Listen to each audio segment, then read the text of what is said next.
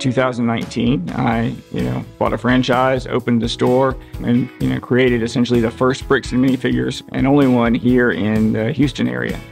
I worked in technology for about 30 years and got to a point where I didn't want to be part of the corporate life anymore, wanted to do something else. The store I really created with a vision to try to be the, you know, the ultimate retail experience for people that were interested in Lego. So we want to kind of have everything that anybody would possibly want.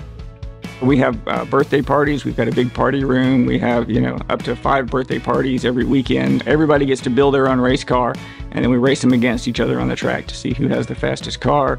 Then we build minifigures, which are the little, little bitty Lego people. So everybody gets to create their own custom figure, and then they can take that home. We're an authorized Lego reseller. We carry all the new in-box Lego, all the sets that, that Lego puts out. We work closely with Lego. They get us all the latest and greatest stuff, you know, even before they come out you know, with their new launches so that we have them on launch day. People will bring in their, you know, their sets that they no longer want or no longer have room for. And then, you know, we assess it and make them an offer in cash or store credit. So we have this table here with all of these loose bricks in it for people to, to sort through and, and pick out whichever ones they need for a project. And I've got a ton of regular customers that come in every few days looking for, you know, more bricks for their projects that they have ongoing.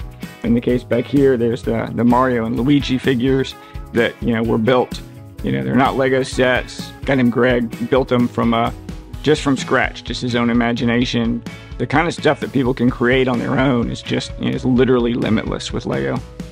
The Lego was one of these few things that, you know, kids and parents could all enjoy together. Not like some of the video games or some of the other things that, uh, that people try to do where maybe it interests the parent but not the kids or vice versa. It really has universal appeal. I really like the way it, you know, it brought families together and gave people something they could do collectively. It doesn't matter whether you're into you know, art or engineering or Star Wars or superheroes or there's something in Lego for you that you can use to you know, to expand on that interest. And so to me, to, you know, to be part of that um, has been really exciting.